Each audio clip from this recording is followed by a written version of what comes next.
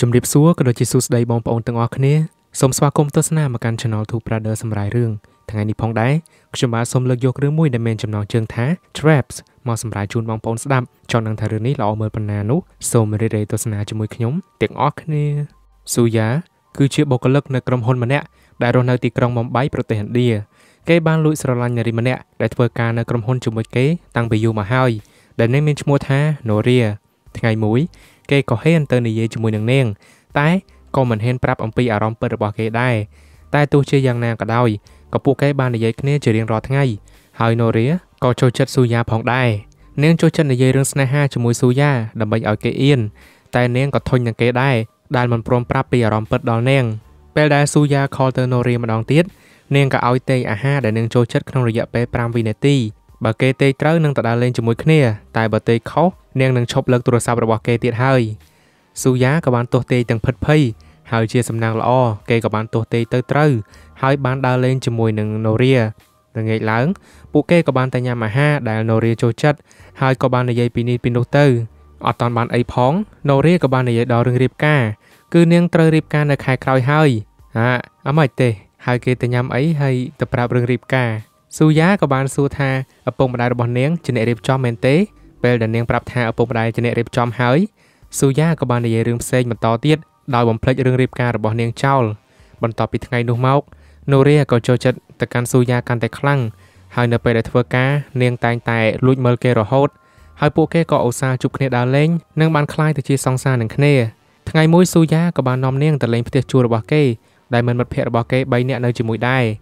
ស៊ូយ៉ាក៏បាននាំណូរីចូលក្នុងបន្ទប់តែ2នាក់ណូរីក៏រៀងសែតហើយគិតអំពីអនាគតរបស់ពួកគេ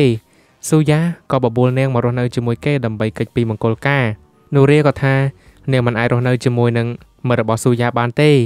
ហើយស៊ូយ៉ាគេក៏បានសន្យាថានឹងរកបន្ទប់ថ្មីនៅថ្ងៃស្អែកដោយសារតែអភិភិពេរបស់ណូរីត្រូវប្រារព្ធឡើងនៅពីថ្ងៃទៀតដូច្នេះហើយពួកគេត្រូវតែរកកន្លែងឲ្យបានលឿនពេលដែលណូរីទៅបាត់គេក៏ខលតាក់ទងមនុស្សជាច្រើនដើម្បីរកបន្ទប់ស្នាក់នៅ តែដោយសារតែគេប្រញាប់ខ្លាំងពេកហើយមានលុយតិចផង គេក៏មិនអាចរកបន្ទប់បានដែរស៊ូយ៉ាក៏បានដើររកកន្លែងស្នាក់នៅពេញមួយថ្ងៃហើយបរិសម្នាក់ក៏មកតាមប្រាប់គេថាគេមានកន្លែងល្អមួយសម្រាប់ជួលបរិសនោះក៏បាននាំស៊ូយ៉ាទៅអាគារដ៏ធំមួយដែលមើលទៅវាប្រហែលជាថ្លៃជាងលុយដែលស៊ូយ៉ាមានបរិសនោះក៏ប្រាប់ថាទីនេះមានបន្ទប់មួយមិនមានមនុស្សរស់នៅទេដោយសារតែមានបញ្ហានៅពេលសាងសង់និងរឿងតាក់ទងនឹងច្បាប់ គេគ្រាន់តែជាអ្នកចតឡានប៉ុណ្ណោះ ប៉ុន្តែដោយសារតែមិនឃើញម្ចាស់មក2ឆ្នាំហើយគេក៏សម្រេចចិត្តជួលឲ្យស៊ូយ៉ាដើម្បីបានលុយខ្លះ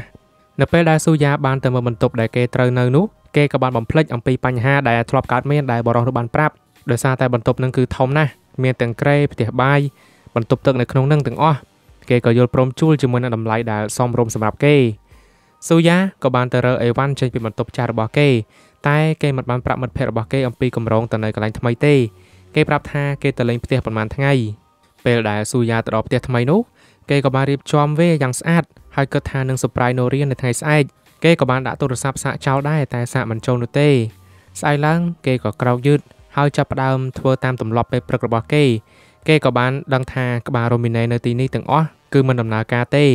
គេត្រូវប្រើទឹកសុទ្ធដើម្បីដោះធ្មេញរួច គេក៏បានចេញពីបន្ទប់ហើយចាក់សោតែគេក៏ភ្លេចទូរស័ព្ទហើយក៏ចូលទៅវិញ ចៃដនគេក៏ភ្លេចដកសោហើយពេលបិទទ្វារក៏ធ្វើឲ្យគេជាប់នៅខាងក្នុងតែម្ដងណូរីក៏បានខំមកសួរគេថាមិនបានជាយឺតគេក៏បានប្រាប់ថាចិត្តទៅដល់ហើយតែគេមិនប្រាប់ថាកំពុងនៅកន្លែងណាទេព្រោះចង់ surprise ណូរីពេលដែលដាក់ទូរស័ព្ទចុះគេក៏ព្យាយាមប្រើវិធីដើម្បីអាចបើកសោបាន តែគ្មានវិធីណាបានផលសោះគេក៏សម្រេចចិត្តខលហៅមនុស្សឲ្យមកជួយ តែដោយសារតែគេសំណាងមិនល្អទូរស័ព្ទក៏បានអស់ថ្មមុនពេលដែលគេបានប្រាប់អាស័យដ្ឋាន គេក៏បានប្រញាប់យកទៅសាកតែក៏សាកមិនចូលនោះទេដែលធ្វើឲ្យគេចាប់ផ្ដើមបន្ទះសារហើយព្រោះថាគេត្រូវប្រញាប់ទៅយកនៅរាផង គេក៏ព្យាយាមវេយបំបាក់ទ្វារតែធ្វើយ៉ាងណាក៏មិនអាចបានផលដែរហើយថែមទាំងធ្វើឲ្យមានរបួសដៃទៀតគេក៏បានមើលតាមបង្អួចហើយឃើញសន្តិសុខនៅខាងក្រោមតែគេមិនអាចហៅគាត់លឺនោះទេដោយសារតែវាខ្ពស់ខ្លាំងពេកពេលនេះកម្រងរបស់គេត្រូវប្រាជ័យហើយព្រោះណូរីប្រហែលជាគិតថាគេរត់គេចមិនចង់ទទួលខុសត្រូវ គេក៏បានប្រើទឹកដើម្បីលាងដៃដែលមានរបួសរបស់គេហើយក៏ព្យាយាមយកទូរស័ព្ទទៅហាលថ្ងៃតែវាគ្មានប្រយោជន៍ទេគេក៏ព្យាយាមស្រែកហៅជំនួយទៀតតែនៅតែគ្មានអ្នកលឺដដែលយប់ឡើងគេក៏បានញ៉ាំនំធុងបន្តិចហើយក៏បានដៃលក់បាត់ទៅព្រឹកឡើងគេក៏មើលភ្លើងម្ដងទៀតតែវាមិនមានដដែលហើយម្ដងនេះគេក៏បានប្រើរបស់គ្រប់យ៉ាងដើម្បីអាចយករួចខ្លួនគេក៏បានយកទូរទស្សន៍ទម្លាក់ទៅដីដើម្បីឲ្យលឺសំឡេងខ្លាំងតែលោកតាសន្តិសុខនោះ ស្ដាប់វិទ្យុធ្វើមិនដឹងដោយសារតែគាត់មិនបានលឺ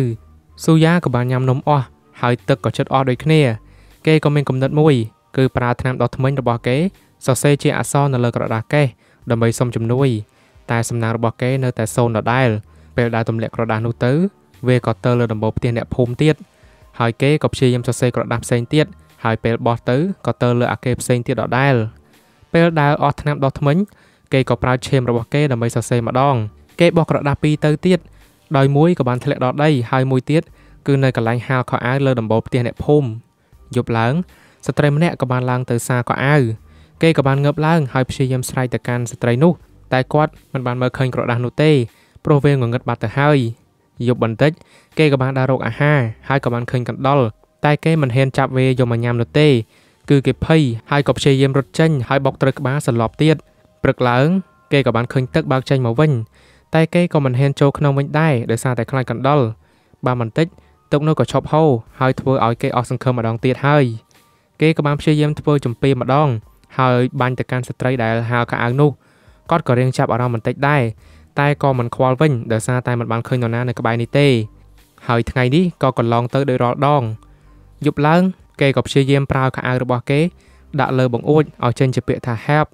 ហើយក៏បានប្រើផ្តិលដើម្បីគោះជាសម្លេងរហូតដល់ព្រឹក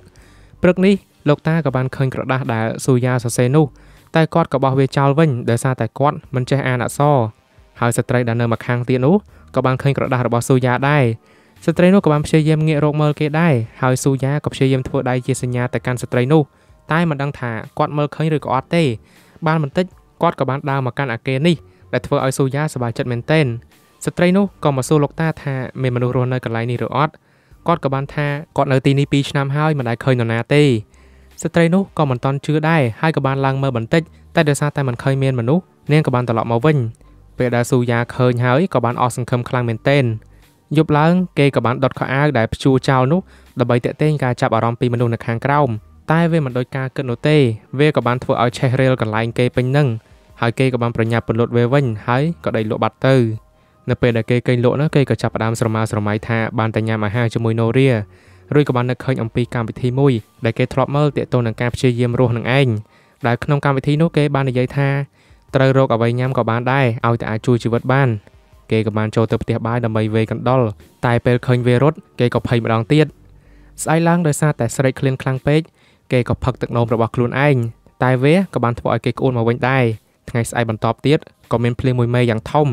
គេក៏បានទៅត្រង់ទឹកភ្លៀងផឹកហើយយករបស់របរដែលអាចដាក់ទឹកបាននឹងមកត្រង់ទាំងអស់ស្អែកមួយថ្ងៃទៀតក៏មានសត្វមួយមកទុំបងអួចគេក៏ប្រើចំពៀមបាញ់វាហើយបានយកវាមកធ្វើជាអាហារពេលដែលចង់សម្លាប់សត្វនោះគេក៏បាននឹកឃើញដល់ការពីមុនដែលគេធ្លាប់និយាយប្រាប់នូរាថាមិនគួរសម្លាប់សត្វដើម្បីធ្វើជាអាហារនោះទេហើយគេញ៉ាំតែបន្លែតាំងពីតូចមកតែពេលនេះគេក៏ត្រូវបង្ខំចិត្តអាំងសត្វនោះសិនដើម្បីចំអាតក្រពះហើយគេក៏បានព្យាយាមជំនះភាពភ័យខ្លាចរបស់ខ្លួន រួចក៏បានដាក់អន្ទាក់កណ្ដុរបានបន្ទាប់មកគេក៏បានឆ្លោះមើលខាងក្រោមឃើញថាបន្ទប់នៅជាន់ក្រោមមិនមានជំរឹងដែកនោះទេបើសិនជាគេចុះទៅអាចនឹងមានឱកាសបើកទ្វារចេញបើមិនជាប់សោគេក៏បានកាត់ចម្រឹងដែកនៅកន្លែងរបស់គេដោយប្រើដែកមួយគេព្យាយាមអាចជាច្រើនថ្ងៃហើយគេក៏ចាប់ស្រមោចនិងកន្លាតដើម្បីចំអាត់ក្រពះគេក៏បាននឹកឃើញដល់ជីវិតនៅខាងក្រៅជាមួយនឹងមនុស្សជាច្រើនហើយក៏បានខំអាដែកនោះរហូតបានសម្រេច គេក៏ព្យាយាមចុះយ៉ាងប្រយ័ត្នរហូតដល់បន្ទប់ដែលគ្មានចម្រឹងនោះហើយគេក៏បើកទ្វារបានដោយមិនចប់សោនោះទេគេបានដើរចុះមកខាងក្រោមរហូតបានជួបជាមួយនឹងលោកតា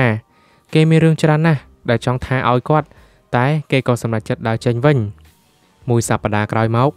នូរីក៏បានទៅមើលគេនៅមន្ទីរពេទ្យហើយនិយាយថា នាងស្មានតែ គេបោះបង់នាងចោលដែលធ្វើឲ្យនាងសម្រេចចិត្តរៀបការបាត់ទៅហើយហើយស៊ូយ៉ាក៏ព្យាយាមចាប់ដៃរបស់នូរី តែនូរីនាងក៏បានដកដៃចេញវិញដោយសារតែពួកគេមិនអាចរស់នៅជាមួយគ្នាបានទៀតទេប៉ុន្មានថ្ងៃក្រោយមកស៊ូយ៉ាក៏ទៅធ្វើការវិញហើយក៏មានអារម្មណ៍សែទៀតហើយដោយសារតែមើលរំការងាររបស់គេគ្មាននរណាចាប់អារម្មណ៍ថាគេបាត់ខ្លួនសោះបន្ទាប់ពីនោះគេក៏បានទៅញ៉ាំអាហារនៅភោជនីយដ្ឋានមួយកន្លែងហើយចុងក្រោយគេក៏បានទៅមើលបន្ទប់ដែលគេបានជាប់នៅក្នុងនោះម្ដងទៀតតម្លៃអប់រំនៅក្នុងរឿងនេះគឺមិនត្រូវបោះបង់អ្វីមួយចោលតែងាយៗនោះទេ